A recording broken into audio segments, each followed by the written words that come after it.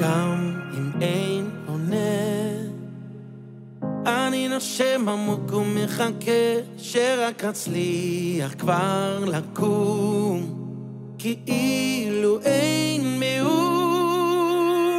ושוב עובר, ושוב חוזר, והמסע עוד לא התחיל. עוצר ומתעורר, כנראה זה ככה בחיים.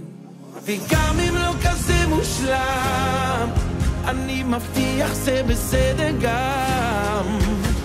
אנחנו מול כל העולם, וזה טוב, איך שזה מרגיש טוב, לא להיות לבד.